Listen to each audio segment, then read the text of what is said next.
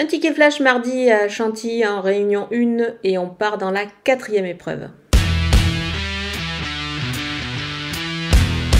Le numéro 2, Anytime Soon, possède vraiment une magnifique action. On l'a encore vu euh, lors de sa dernière tentative. Elle a besoin de rythme pour pouvoir justement déployer ses belles foulées.